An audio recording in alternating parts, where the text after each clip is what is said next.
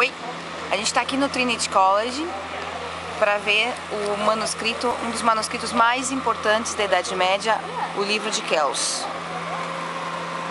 Essa aqui é uma panorâmica da, da universidade, que é enorme, super bonito.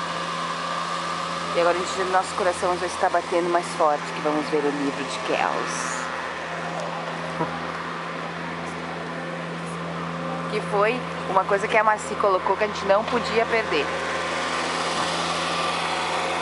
much.